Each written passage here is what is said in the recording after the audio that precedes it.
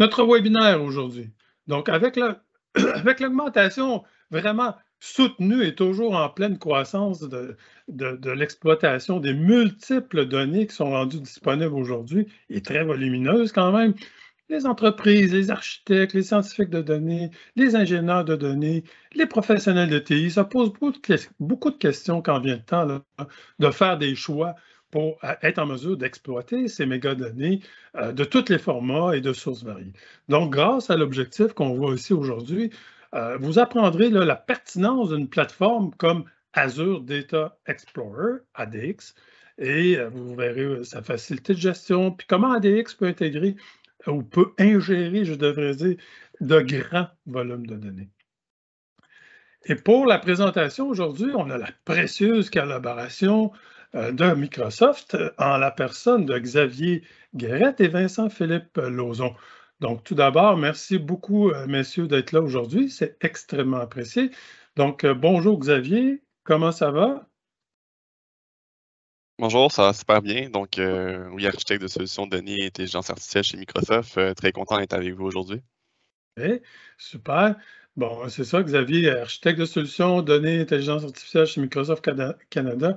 Euh, fait, partie de l'équipe de succès des clients euh, commerciaux, impliqué beaucoup dans les mandats dans plusieurs domaines d'affaires. Donc, merci d'être là, Xavier. Euh, nous avons également la participation de Vincent Philippe Lauzon. Bonjour Vincent Philippe, comment ça va? Bonjour André, je te remercie. Oui, Vincent Philippe Lauzon, je suis gestionnaire de produits ou product manager dans l'équipe d'engineering de Azure Data Explorer, qui est le produit qu'on va vous présenter aujourd'hui. Merci beaucoup d'être là. Euh, merci beaucoup d'être là, messieurs. Je l'apprécie également. Ça, Vincent, et Philippe est, impliqué, en fait, en responsabilité de certains aspects du produit en tant que tel euh, de Azure Data Explorer.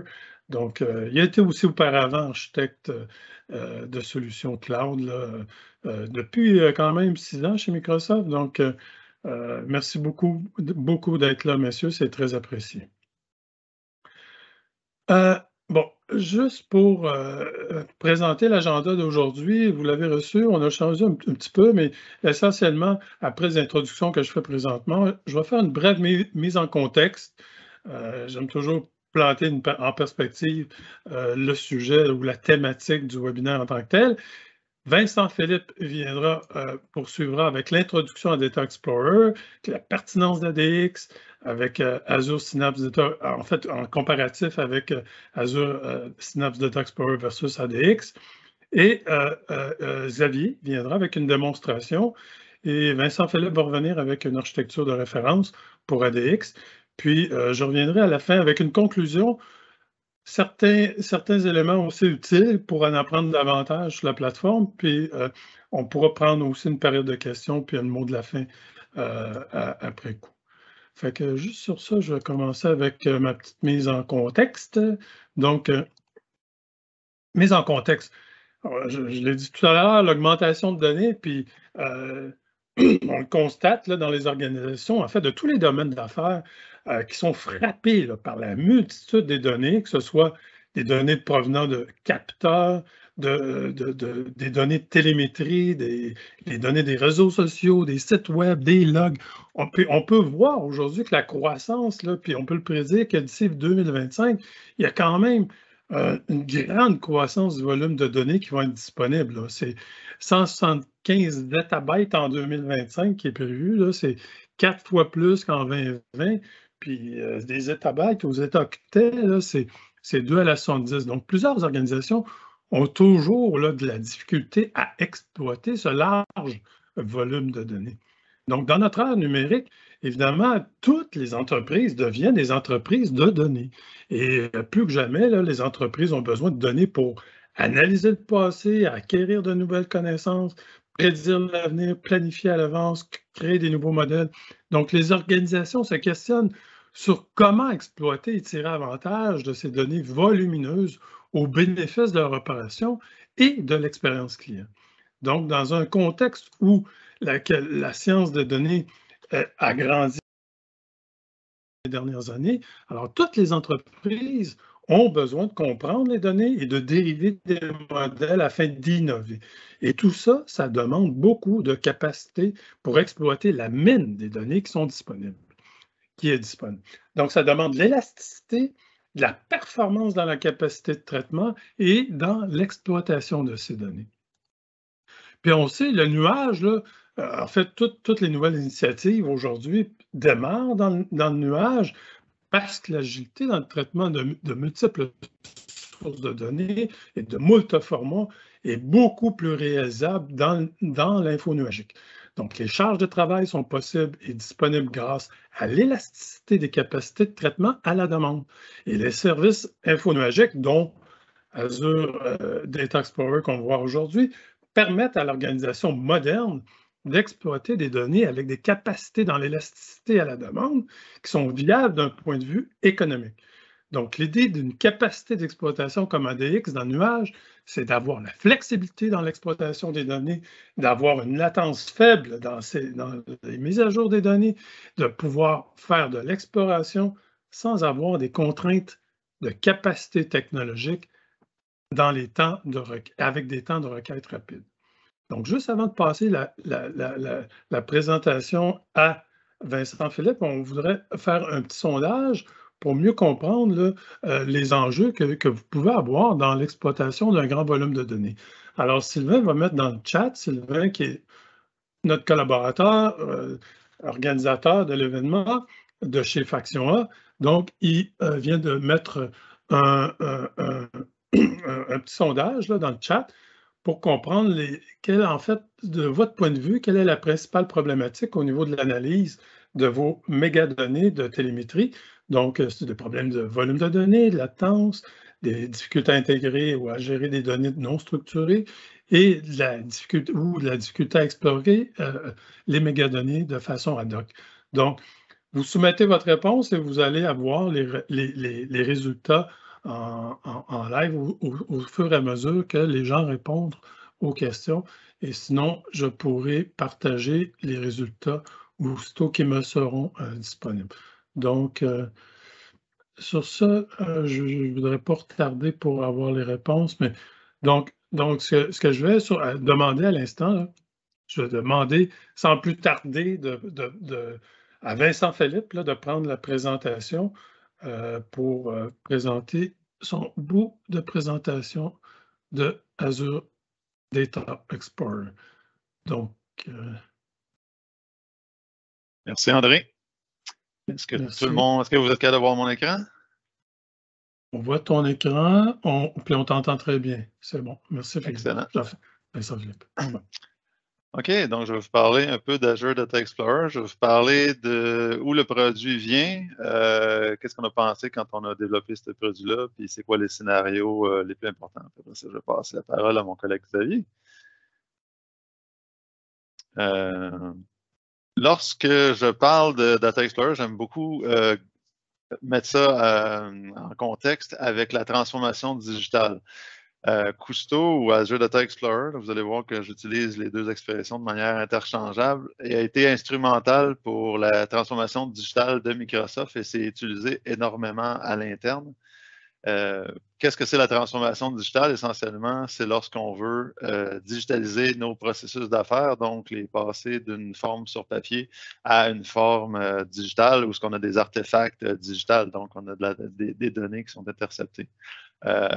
Lorsqu'on fait ça, on veut avoir le cycle virtuel qu'on voit à l'écran, c'est-à-dire d'engager nos clients, de, donner de la, capacité, de l'autonomie à nos employés, pour puis ensuite transformer nos produits avec l'information qu'on acquiert au travers de ces, euh, de ces processus-là et d'optimiser nos opérations.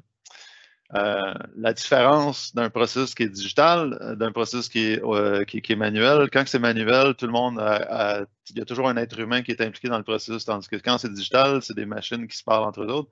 Donc, c'est facile pour une business de perdre contrôle finalement de l'optimisation de ces processus. Et c'est pour ça que c'est important de regarder ça. Si on regarde, donc, l'important de, comprendre, je pense, à ce point-ci, c'est que les données opérationnelles et les données transactionnelles, c'est deux types de données différents. Euh, André a parlé de l'évolution du volume de données qu'on va avoir euh, en zettabytes euh, dans les prochaines années. C'est pas parce qu'on a plus de données transactionnelles, c'est pas parce que les, les, compagnies aujourd'hui vont faire 10, 15, 20 ou 20 000 fois plus de, de, business demain matin, puis vont générer plus de, transactions c'est qu'il y a plus de données opérationnelles. C'est quoi les données opérationnelles? On appelle ça aussi les données observationnelles. C'est tout ce qui est de la télémétrie qui vient de IoT, euh, d'instruments d'IoT, donc de Internet of Things, euh, que ce soit des logs qui viennent de serveurs, que ce soit du euh, streaming de données, donc du clickstream sur des webs, par exemple, savoir qu'est-ce que nos usagers font lorsqu'ils vont sur notre site web, où est-ce qu'ils se sont baladés, où est-ce qu'ils ont arrêté sur le processus d'affaires euh, que ce soit des time series, euh, des, euh, des, smart buildings, par exemple, si vous avez des buildings connectés, euh, où la, température peut être enregistrée à toutes les 5 secondes ou 10 secondes.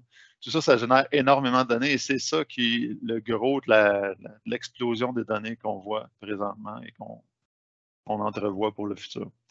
Et puis ces données-là sont différentes. Je vais essayer de vous en convaincre en regardant, par exemple, l'évolution que nous autres, on a vue. Si on regarde dans l'histoire, dans les années 2000, 90-2000, lorsque j'ai commencé ma carrière, il y a très longtemps, euh, on avait des données qui étaient dans les mégabytes et gigabytes en tant que volume. Puis la complexité, euh, si, on, si vous connaissez la, théorie des 3 V de Gartner, si on prend volume, vélocité et variété, euh, si je mets vélocité et variété sur le même axe, l'axe des X, la complexité était relativement faible. C'est-à-dire qu'on avait des données qui étaient très civilisées, c'était des RP, des CRM, donc des données tabulaires, tout ce qu'on voit dans le BI encore aujourd'hui, donc des, rangées, des colonnes avec des types, de, des, données fortement typées.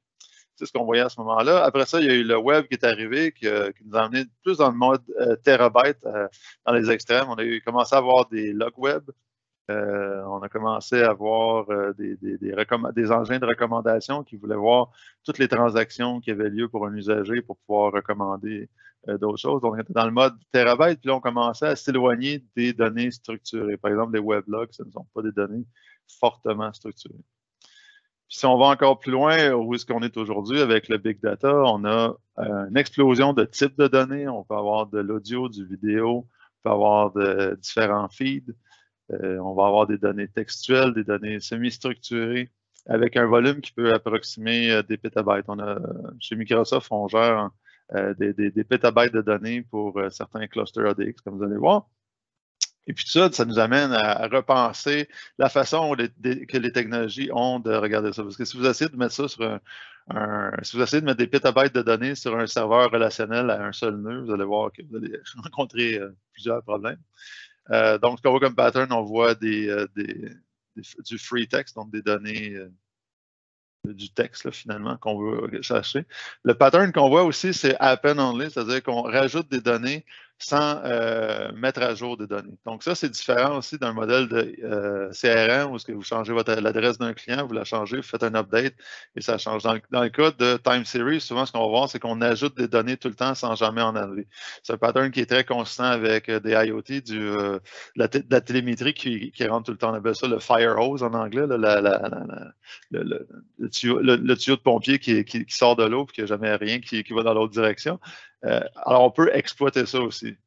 On a aussi plusieurs décisions qui doivent être prises à tous les jours euh, parce que c'est ce que la nouvelle façon de faire des affaires euh, demande. On demande aux, organisations d'être de plus en plus agiles.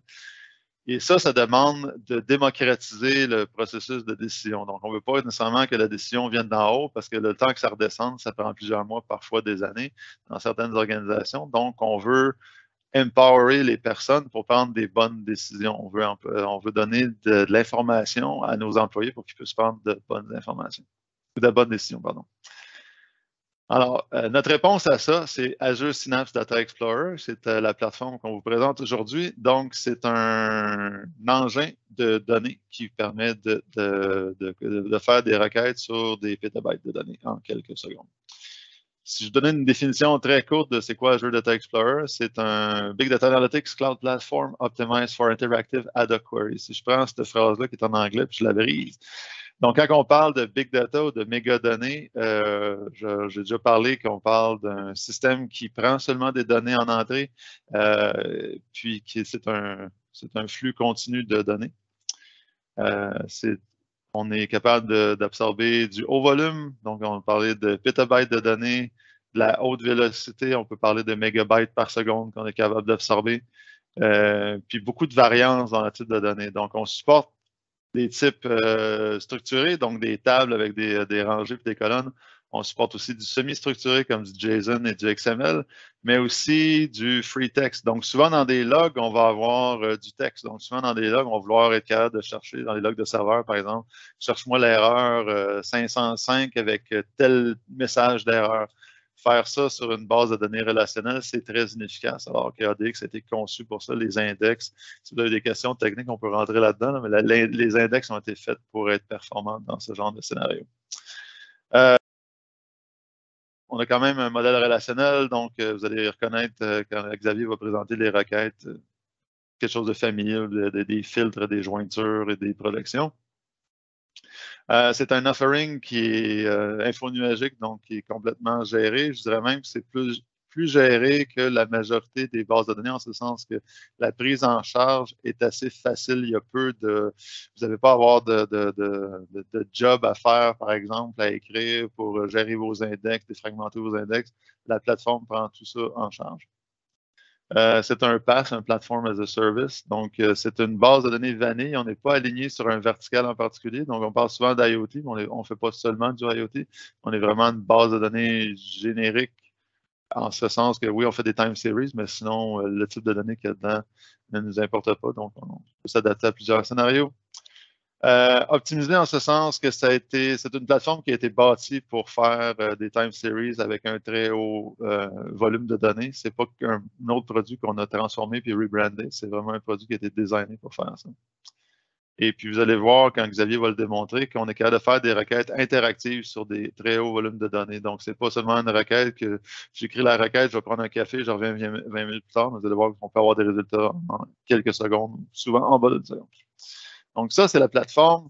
Euh, les piliers de la plateforme, euh, c'est qu'on est un, engin de stockage. Euh, maintenant, on est disponible dans Azure Synapse Analytics.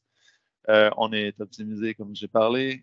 on offre support, comme je l'ai dit, de façon pour les, champs structurés jusqu'à non structurés. Euh, on est capable de faire de la latence en termes d'ingestion. On est capable d'arriver à près d'une seconde en termes d'ingestion. Donc, euh, on supporte du streaming ingestion. On est capable d'absorber des mégabytes par seconde, puis euh, que vous puissiez faire une requête qui inclut les données qui datent de quelques secondes seulement ou plusieurs secondes, dépendant comment vous configurez votre système. puis on a un langage qui est facile de compréhension et qui est plus facile aussi pour écrire des requêtes compliquées. Euh, donc, un langage spécifique qui s'appelle Cousteau. Euh, si je parle de chiffres ou de momentum, euh, présentement, la plateforme, si je regarde tous les clusters dans Azure de, de tous nos clients, internes et externes, on a 85 petabytes de données. En fait, on a ouais, ingérés par jour. On a 6,6 exabytes de données au total. Donc, 6,6 exabytes de données gérées dans tous les clusters on en ingère 85 petabytes par jour. On a 1,3 milliard de, requêtes par jour, euh, puis on utilise environ 3% des cores de Azure, donc des CPU de Azure. Donc, une partie importante de la plateforme. Euh, ce que nous normalement les clients, qu'est-ce qu'ils cherchent lorsqu'ils cherchent une, manière d'analyser leurs données observationnelles? Ils veulent être capables de briser les silos, donc ils ne veulent pas avoir, euh, avoir accès à plusieurs systèmes. Ils veulent que leurs données soient concentré et accessible à un seul endroit. Ils veulent avoir de l'insight ou de, l'information en temps réel. Donc, on ne va pas faire des requêtes sur les données de la semaine dernière, on va faire des requêtes des données de ce matin. Pourquoi? Parce qu'on regarde nos données opérationnelles. Euh, si je regarde euh, ma business, si je, suis quelqu'un qui, est dans la manufacture, je vais être capable de voir est-ce que je produis, est-ce que j'ai un problème sur ma chaîne de production maintenant, pas, hier matin. Euh, on peut vouloir souvent, souvent ça va s'apparenter à du monitoring, c'est-à-dire qu'on va monitorer non pas des serveurs, mais un processus d'affaires. Donc, euh, ça revient un peu encore au euh, Real-Time Insights. On va vouloir identifier des trends et des anomalies. Ça, c'est plus quand on prend une approche, on, fait un pas en arrière, puis on essaie de regarder la, photo d'ensemble. On veut, regarder, on être capable de faire de l'analyse d'anomalies et de forecasting. Qu'est-ce qui va se passer dans le futur? Puis aussi, on va être capable de trouver le pourquoi. Donc, euh, comparer souvent au BI, le BI va souvent nous montrer qu'est-ce qui se passe dans notre business. regarder de la télémétrie, c'est regarder pourquoi est-ce que ça se passe. Pourquoi est-ce qu'on a eu tel problème mardi dernier? Pourquoi est-ce qu'on a eu une panne? Qu'est-ce qui s'est passé? Puis on va regarder des, des, sensors ou de la télémétrie, puis on va faire un root cause analysis.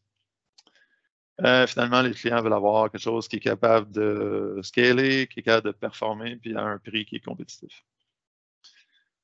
Euh, je vais passer cette slide-là rapidement. Euh, je vais vous parler finalement de Azure Data Explorer versus Synapse Data Explorer. Donc, présentement, dans Azure, on a la plateforme Azure Data Explorer est disponible sur deux formats, si vous voulez, ou deux, deux manières de provisionner le service, soit en standalone, soit tout seul, c'est-à-dire euh, comme service d'Azure qui s'appelle Azure Data Explorer, soit dans Synapse qui s'appelle Synapse Data Explorer Pools, c'est une partie de Synapse Analytics si je fais une euh, différenciation euh, rapide, euh, Data Explorer dans Synapse Analytics, ça devient un des engins qui, est disponible. Vous connaissez pas SQL Pool, qui est l'engin pour faire du data warehousing. Apache Spark, qui est un engin pour faire du big data, mais plus de la transformation à, longue, à longue haleine, je dirais, des transformations complexes. puis Data Explorer, qui est là pour faire de l'analytique sur des données observationnelles. Là, on a un gros tableau pour euh, comparer les deux. si vous voulez regarder les pros et cons, lequel que je dois choisir. Essentiellement, si vous voulez une explication simple, euh, Standalone est là depuis quatre ans. Euh, Synapse est encore en public preview. Ça fait à un an que c'est disponible. Euh, par contre, c'est le même engin qui est en dessous. Donc, quand vous faites des requêtes, c'est exactement le même engin. C'est juste provisionné de manière différente. Euh, la différence, c'est vraiment l'intégration avec euh, Synapse Analytics. Donc, si votre organisation investit dans Synapse Analytics, vous dirais regarder Synapse Explorer. Sinon, vous pouvez regarder Synapse Standalone. Donc, l'intégration avec Synapse, Synapse, l'environnement de Synapse, c'est toute l'intégration de Réseautique, par exemple. Donc, vous allez avoir toute la VNet injection de, de votre environnement de Workspace. Euh, et tout le, reste des permissions, par exemple, qui peuvent s'en suivre. Et sur ça, je vais passer la parole à mon collègue Xavier qui va continuer, faire une démonstration, je crois. OK. Euh, donc, euh, je vais partager mon écran. Donc, je suis bon, dans le portail Azure sur une ressource que j'ai créée, un Azure Data Explorer Cluster. puis je vais dans l'onglet Query ici. Euh, déjà, je vais avoir une interface où je peux interroger euh, le cluster que j'ai créé. Euh, mais nous, qu'est-ce qui va nous intéresser aujourd'hui, c'est regarder un petit peu plus comment on peut utiliser le portail web qui vient avec ADX. donc, on a un environnement là, qui est très convivial. puis, on a également à disponibilité un, outil desktop qui s'appelle Cluster Explorer si vous préférez travailler avec votre, votre desktop. donc là, on voit à gauche que je suis déjà connecté à plusieurs clusters euh, ADX. Donc, il y en a un ici, Ignite ADX Source, Webinar 55, etc. Euh, sous chaque cluster, on peut avoir plusieurs bases de données, donc un peu comme euh, on retrouverait dans SSMS pour les gens qui sont familiers avec SQL Server. Puis là, on a toute l'arborescence sous les bases de données. Par exemple, sous la base de données Occupancy ici, on a des fonctions, on a des vues matérialisées, des tables externes et quelques tables. Euh, donc, la première étape quand on travaille avec ADX, euh, c'est d'ingérer euh, les données dans l'engin. Donc, il y a deux catégorisations d'ingestion. La première, c'est celle avec laquelle on est habitué, donc l'ingestion en batch. On peut ingérer les données avec Azure Data Factory ou encore avec les, Software Development Kit. On a des, des, SDK, Python, Java, C Sharp, etc. Euh, nous, qu'est-ce qui va nous intéresser, c'est le deuxième type euh, d'ingestion aujourd'hui, euh, qui est l'ingestion en temps réel. Donc, c'est possible d'ingérer les, données en temps réel de d'Event Hub, par exemple, ou d'IoT Hub, ou encore Kafka. donc, si je clique pour vous montrer ici sur une base de données, puis je, je, sélectionne Ingest New Data, automatiquement, euh, ADX, euh, bon, me sélectionne le, cluster que je peux changer, une base de données, puis là, j'ai le choix de euh, créer une nouvelle table ou de, de, choisir une table existante pour l'ingestion des données. que là, je vais créer une nouvelle table. Là, je choisis la source, j'ai plusieurs options. Je peux ingérer des données d'un storage account, que ce soit un storage account standard ou un data lake. Euh, mais là, je vais ingérer des données d'Event Hub, choisir mon, ma subscription, mon Event Hub namespace.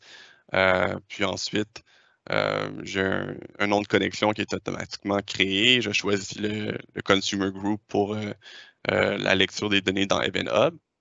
Et ensuite, je passe au, schéma, puis automatiquement, dans la vue partielle euh, des données, ADX me sort quelques records euh, qui étaient capable de lire dans ADX. Et en haut, on a le Comment Viewer, euh, qui est l'endroit où on voit le code Cousteau qui va être qui va être exécuté pour ingérer les données. Euh, là, à la gauche, euh, j'ai l'option de choisir mon format de, données dépendamment de ce que vous avez ingéré dans Event Hub. Euh, mais on ne va pas s'attarder au format de données aujourd'hui. On va juste cliquer sur Next. puis là, vous voyez, bon, il y a quelques vérifications qui ont été effectuées. puis les données sont ingérées. j'ai une nouvelle table, Ingest Demo 1 avec la colonne spécifiée. Mais nous, aujourd'hui, on a déjà fait un, setup pour euh, notre environnement de démonstration. Euh, donc, on va utiliser la base de données Occupancy ici. Euh, donc, je vais commencer par me connecter à la bonne base de données. et ensuite, on a une table qui s'appelle Stage IoT Raw Data qui contient quelques colonnes qui ont été générées par IoT Central, poussées dans Event Hub et qui ont atterri dans notre cluster ADX. Donc là, si je regarde les, les premiers records, euh, j'ai les colonnes euh, euh, qu'on voit dans, les métadonnées. puis j'ai, on voit que les, données datent des 32, puis sur mon, desktop, on est rendu à 34. Donc, il y, a une faible latence. C'est sûr que ça pourrait être optimisé pour voir les, dernières secondes de données. Puis j'ai également la capacité, tout à l'heure, on parlait de demi-structuré, de stocker des, données JSON. Donc on voit ici, on a des données JSON avec euh, trois euh, champs, le, niveau de batterie, l'humidité, la température. Si je clique sur le record, euh, je peux regarder un petit peu plus le record en détail. Comme on mentionnait tout à l'heure, on a des capacités de recherche, donc vous pouvez vous imaginer avoir des logs dans ADX, puis vouloir faire la recherche d'un mot-clé ou d'une expression régulière. Donc, je peux utiliser l'opérateur search euh, qui va euh, faire un scan de la table en entière et me retrouver euh, les lignes qui contiennent le token en question. Évidemment, je peux aussi faire une, requête plus traditionnelle comme on ferait dans un engin relationnel par colonne qui est un petit peu plus optimal puis j'obtiens un résultat similaire. on a aussi le concept d'update policy qui s'apparente au concept d'insert trigger dans une base de données relationnelle. donc là, j'ai une requête Cousteau euh, qui est encapsulé par une fonction et qui est exécuté à chaque fois euh, qu'il y a des données qui sont euh, ingérées dans la table Stage IoT Raw Data. donc, c'est pour effectuer des transformations de données, de la manipulation de données.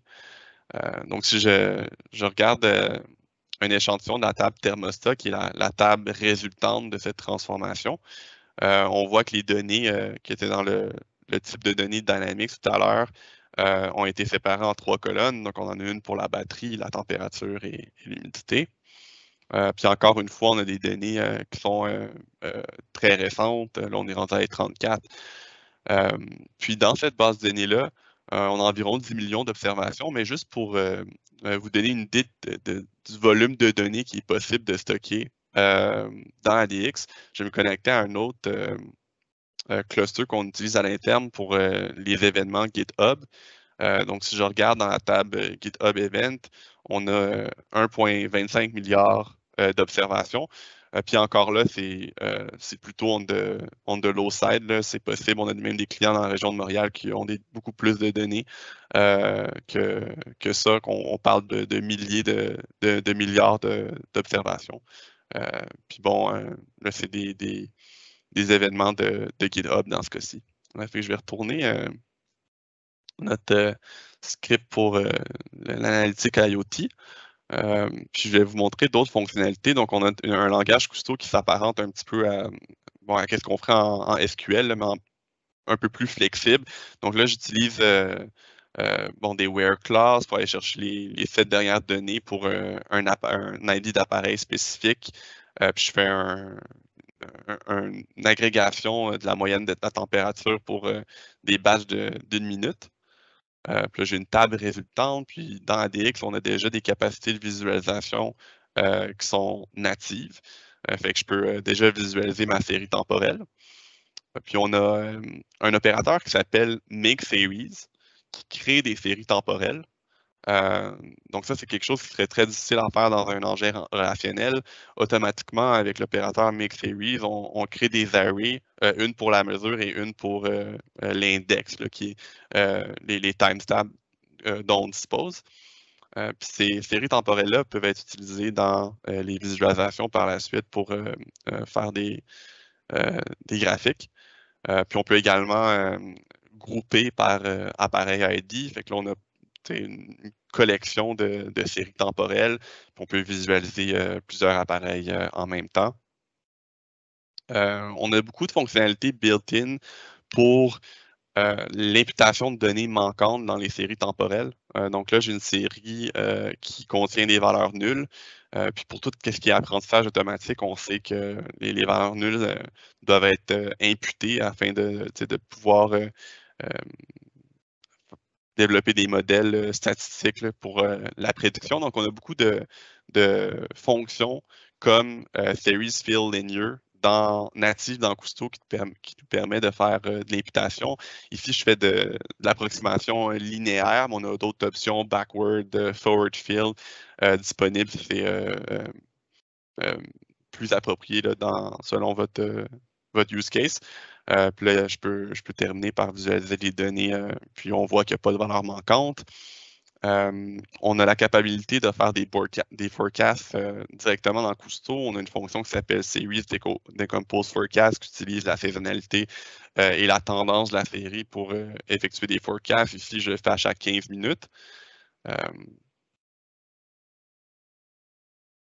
on voit le, forecast qui est superposé à la série temporelle. Euh, on a également des capacités euh, au niveau de la détection d'anomalies qui sont euh, que vous pouvez modifier, donc modifier le degré, le degré qui est considéré comme une, comme une anomalie. donc, je regarde le graphique ici, on va voir qu'il y a des points euh, rouges, puis les points rouges correspondent à des anomalies. Puis encore une fois, euh, c'est quelque chose que vous pouvez modifier, le, degré à laquelle une observation est considérée dans votre série comme une anomalie. Mais tout ça est natif au langage Cousteau, donc c'est très, euh, très facile d'utilisation. puis là, en dernier, bon, je crée une table avec la liste des anomalies. Euh, on a aussi, euh, comme on voit dans l'onglet, la capacité de faire des vues matérialisées. Donc, en général, les agrégations qui sont euh, déjà dans les vues matérialisées sont supérieures en termes de performance qu'effectuer une agrégation directement sur les tables sources pour alimenter une visualisation. donc, pour aller chercher un petit peu plus de performance, c'est quelque chose que vous pouvez faire. Donc là, j'ai une, vue matérialisée avec certains champs préagrégés. On a aussi la capacité de créer des tables externes. Euh, donc, euh, si vous voulez historiser des données euh, de, de Cousteau, vous pouvez les exporter dans des tables externes en continu ou aller chercher des données de référence, par exemple, dans votre data lake. Donc, si je clique sur la base de données ici, je peux faire Create New External Table. Euh, là, j'ai un jeu de données euh, de température. Euh, je crois que j'ai peut-être pas des droits sur cette base de données-là, je vais essayer celle-là ici.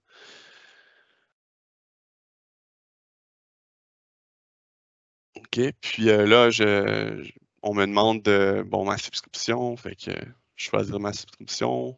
je peux choisir mon storage account. Euh, puis là, on, choisit un, container, puis j'ai un container dans lequel euh, j'ai des données de température. Donc, je choisis mon container, puis j'ai accès euh, à un fichier CSV. Ça pourrait être un fichier dans, un autre format. Puis je peux cliquer sur Next, puis déjà ADX me reconnaît le, format du fichier, puis me donne un preview des données. je peux changer le, format si, au besoin. puis là, j'ai la, la, possibilité de créer une table externe, un peu comme on l'a fait pour l'ingestion en temps réel.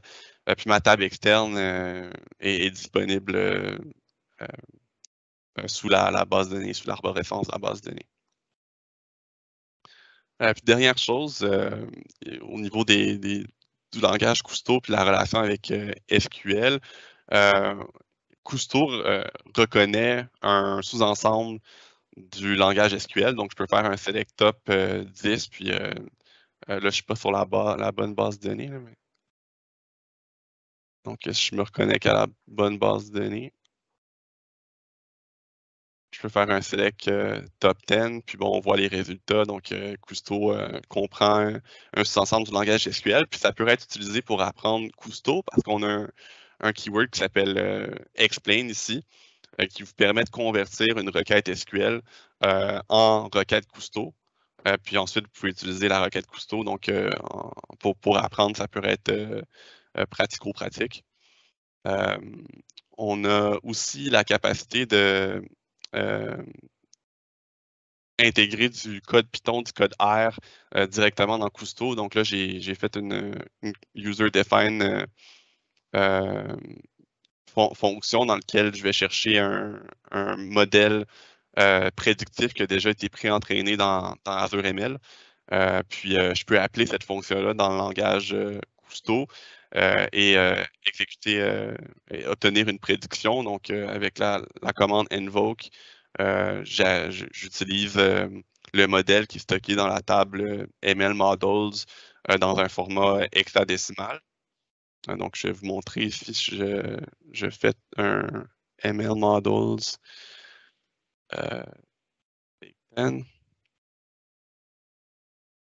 Donc, j'ai un modèle, puis on voit, il est stocké en hexadécimal ici.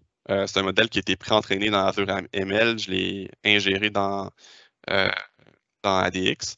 Euh, puis ensuite, on peut écrire une fonction qui exécute, qui, fait la prédiction. puis utiliser la commande invoke pour obtenir la prédiction. Donc là, j'obtiens la prédiction. Ça, ça, prend quelques secondes ici. Puis là, j'ai les résultats. C'est un modèle de classification binaire, donc euh, j'ai le, faux ou vrai euh, sur est-ce que la, chambre est, occupée euh, dans mon building. puis on a une fonctionnalité qui est en preview présentement qui vous permet de faire des dashboards directement dans ADX. donc, c'est un, couteau suisse. Toutes les, visualisations Cousteau qu'on a vues tout à l'heure peuvent être regroupées dans un, un tableau de bord ADX. Euh, puis on voit bon, le, forecast de tout à l'heure, euh, les, euh, les, anomalies, la table qu'on avait créée. ce tableau de bord-là est paramétrisable, donc vous pouvez aller chercher les 12 dernières changer de device, etc. Il y a des capacités de partage, puis vous pouvez également gérer les permissions. puis si la, visualisation n'est pas à votre goût, euh, on peut euh, cliquer sur Explore euh, Query ici, puis ça nous retourne à la requête qu'on peut modifier et reparamétriser à notre convenance. puis avec la fonctionnalité de dashboard, on peut se connecter à des, clusters Cousteau. donc, si vous avez des, sources de données qui sont en dehors d'ADX, ce serait mieux d'utiliser un, service comme euh, Power BI qui s'intègre avec, euh, avec euh, ADX, évidemment. habituellement, qu'est-ce qu'on recommande à nos clients, c'est de travailler en mode import. par contre, ici, on travaille avec des données de, très haut volume. On a vu qu'on peut avoir des, des milliards d'observations. Puis aussi, on cherche une latence qui est faible. donc, en général, quand on travaille avec ADX, on travaille avec des données avec en, mode direct query, parce qu'on cherche une faible latence. Donc, euh, les requêtes qui sont euh, effectuées dans, Power BI sont exécutées par euh, l'engin Cousteau. On a un engin de cache qui est très, performant, qui vous permet d'avoir une, performance puis une, latence qui est, très faible. donc là, je vais, je vais retourner à, la présentation, quelques points additionnels que j'aimerais discuter. Euh, donc, euh, ADX euh, est utilisé dans, de nombreuses industries. Tout à l'heure, on parlait de, milieu manufacturier pour l'analytique de web. On a vu une, brève démonstration sur l'analytique pour l'Internet des objets. Dans le milieu financier, on a des clients qui l'utilisent pour l'analyse de logs d'Audi. Au niveau de la sécurité, c'est utilisé dans plusieurs des services Azure comme Sentinel ou pour la collection de logs, log analytiques. Euh, dans le milieu de, la santé, euh, bien évidemment, il y a beaucoup d'Internet des objets, donc c'est un service qui peut être euh, utilisé dans l'industrie du média pour l'analyse des vues des utilisateurs. C'est également utilisé par certains de nos clients. le secteur automobile aussi pour les manufactures, la gestion de la flotte de camions. c'est un service qui peut être pertinent. Euh, donc, euh, présentement, le, service est déjà déployé en production euh, chez de nombreux de nos clients. Donc, il y en a que vous connaissez déjà, Daimler, AGL, qui est une compagnie de, l'énergie, EFRI, une compagnie d'analytique pour tout ce qui est cartographie. Au Québec, c'est utilisé par ILO, ILO qui est une filiale d'Hydro-Québec. Euh, euh, l'optimisation euh, de, la grille d'énergie pour transférer ou redistribuer à travers le temps la consommation d'énergie des, clients. puis tout à l'heure, on mentionnait Dalmer qui ingère 9 trillions de lignes et qui a présentement 900 terabytes de data de, données, donc vraiment du gros volume. C'est une technologie qui a été mise à, rude épreuve euh, à l'interne chez Microsoft. Donc, on l'utilise depuis 2015 euh, à travers euh, différents produits. Donc, c'est utilisé dans Windows, LinkedIn, Azure, Office, Power BI, etc. tout à l'heure, on mentionnait Azure Monitor. Donc, Log Analytics est une technologie qui utilise en arrière ADX. C'est également utilisé dans nos produits pour la sécurité comme Sentinel. J'aimerais euh, discuter de certaines architectures de référence. Donc là, on a une architecture euh, de référence qui est disponible dans notre centre euh, d'architecture de, Microsoft qui, est, que vous pouvez voir en, ligne. donc ADX pour l'analytique interactive. on a des sources on-prem qui génèrent de la télémétrie de, l'Internet des objets ou de logs ou de, de bases de données applicatives. Euh, puis là, on a deux euh, patrons d'ingestion, comme on discutait tout à l'heure, euh, un patron d'ingestion en temps réel et un patron d'ingestion batch. en temps réel, on a des connecteurs pour Event Hub, IoT Hub, et à travers Kafka Connect, on a un sync ADX qui vous permet d'intégrer ADX à Kafka également. donc là, on a un flux en temps réel. Euh, puis on a également la possibilité d'ingérer les données à travers un service comme ADF. On a des, euh, activités built-in euh, pour l'ingestion. en général, on a un throughput qui est un peu supérieur avec un, service ADX, avec un service comme ADF. mais là, il y a une certaine latence à, cause qu'on travaille en batch, donc c'est quelque chose à considérer. On a de l'intégration avec le, data lake ou des storage accounts euh, standards à travers les tables externes euh, où euh, on peut inversement exporter des données d'ADX vers le data lake. c'est une fonctionnalité qui est particulièrement utile si on veut archiver des données ou stocker des données qui sont un peu plus vieilles dans un, service de stockage où les coûts sont un peu plus faibles. puis on, a également la, le, même type d'intégration avec euh, les bases de données SQL. Donc, on peut créer des tables externes d'ADX vers euh, vos bases de données SQL euh, sur Azure. pour l'intégration avec Cosmos DB, en général, on, fait, on, utilise le, on, peut utiliser le change feed de Cosmos DB pour faire euh, l'ingestion en temps réel des changements dans une données opérationnelle. Euh, donc, si vous avez des inserts, des updates euh, dans votre base de données applicative transactionnelle, vous pouvez les ingérer en temps réel à travers une, fonction Azure dans ADX, puis stocker l'historique des changements dans, ADX. et ensuite, on a des, des outils de tableau de bord qui peuvent être utilisés pour être plugués sur, sur ADX. On a vu tout à l'heure Power BI. On a également des, connecteurs pour clic. Tableau, c'est dans votre écosystème et aussi Grafana. je vais passer à une seconde architecture qui expose d'autres types d'intégration. Tout à l'heure, on, regardait un petit peu qu'est-ce qu'on pouvait faire avec l'intégration Python et R dans ADX. Euh, donc, j'avais mentionné qu'on pouvait entraîner un modèle dans Azure ML et euh, exécuter la, prédiction dans ADX. Euh, donc, ça, ça peut être fait dans Azure ML ou encore dans Databricks. on a un, connecteur open source pour Apache Spark à ADX. Donc, étant donné que le connecteur est, open source, vous pouvez faire la lecture de données dans, ADX à partir de Databricks ou encore euh, une instance de, Spark euh, dans Synapse Spark ou même euh, Azure HD Insight si c'est dans votre écosystème technologique. on, est, on, a aussi d'intégration avec Azure Digital Twin, qui est un service pour créer des modèles de vos environnements. Si vous avez déjà entendu parler de la métaverse, donc c'est possible d'interroger la structure de votre environnement dans ADX, puis faire des requêtes euh, à l'intersection de, votre télémétrie et de, votre environnement, euh, soit pour aller voir euh, dans le passé c'était quoi l'état de votre environnement ou même faire la prévision de valeurs futures dans votre environnement.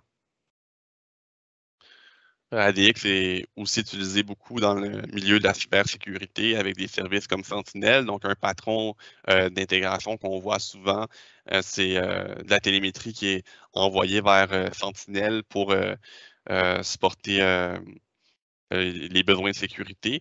Dans Sentinel, on a une rétention des données d'environ trois mois. donc, par la suite, c'est possible de les exporter vers, vers ADX. Euh, pour du stockage à plus long terme et par la suite même les archiver dans euh, le data lake. Donc là, il nous reste euh, juste quelques questions. Donc, je vais passer aux questions, voir si on a quelques questions là, dans l'audience. Ben, ben, à date, je ne pense pas qu'il y ait des questions, mais je veux juste peut-être reprendre. Est-ce qu'il y avait d'autres choses à présenter, Xavier? Je pense pas. Hein? Ben, il n'y avait pas rien d'autre à présenter, mais peut-être que je discuterai des, de certains euh, liens qu'on peut euh, que, l'audience peut consulter. Oui. OK. Ben, euh, je vais juste reprendre parce que je, voulais juste couvrir deux, trois affaires, puis je vais, je vais, arriver au lien. Mais écoute, merci beaucoup de la démonstration et des explications à toi, Xavier, puis à toi aussi, Vincent Philippe.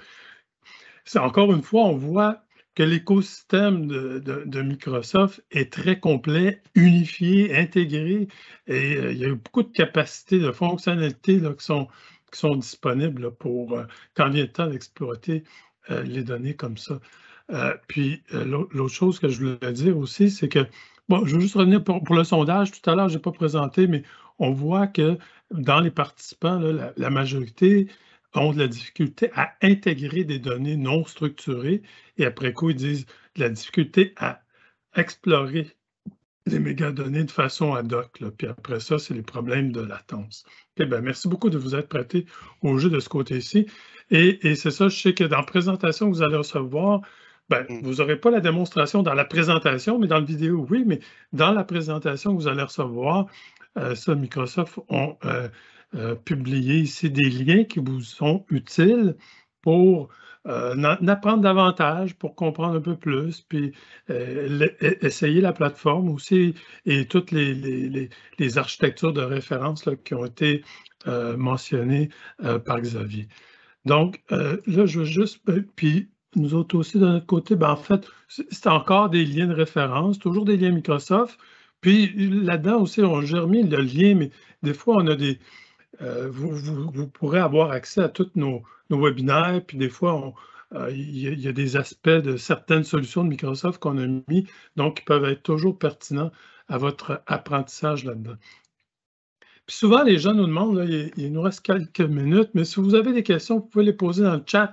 Ou sinon, n'oubliez pas que quand on va vous envoyer euh, les différents accès, soit à la présentation ou à la, à, l'enregistrement, vous pouvez toujours nous retourner euh, votre intérêt ou vos questions, puis on pourra euh, organiser euh, les réponses à vos questions.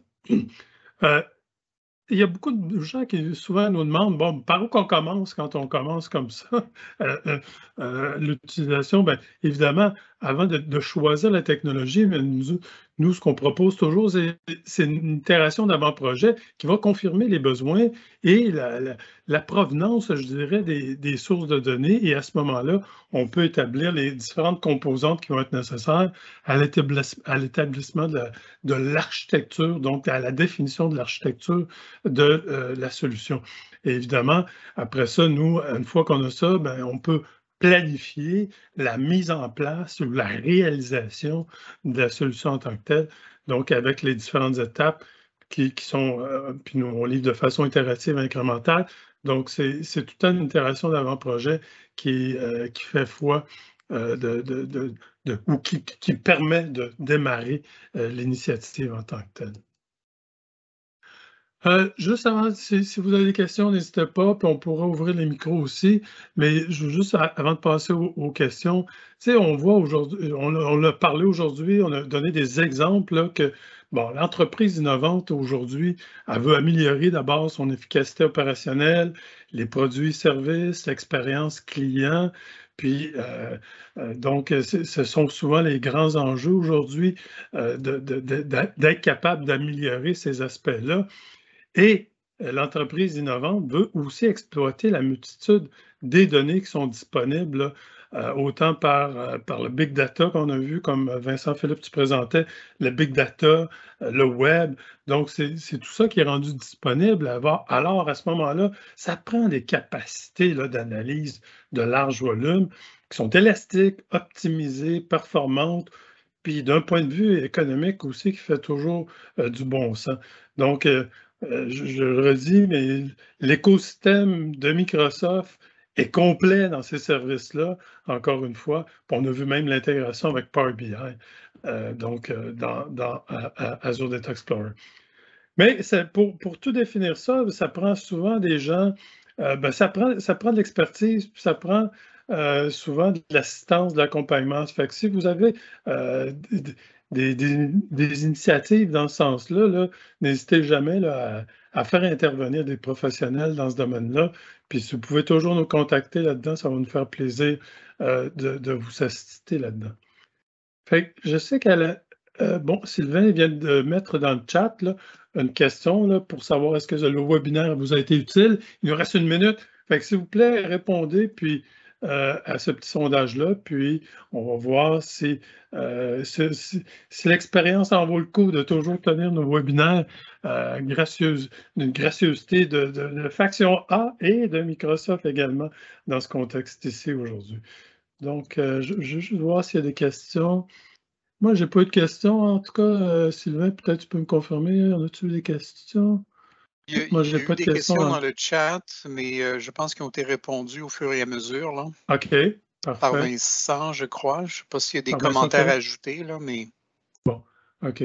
Euh, bon, parfait. Mais s'il n'y a pas d'autres questions à ce moment-ci, il est midi, on, arrive à pile poil sur, euh, sur la fin. Donc, je voudrais tout simplement remercier tous les participants. Euh, puis, donc, ceci conclut notre webinaire. Un gros merci de votre participation. Puis, euh, surtout, faites attention à votre santé, celle de vos proches. Merci encore et euh, bonne journée à tous et à toutes. Et je vous dirai à bientôt. merci beaucoup. Au revoir.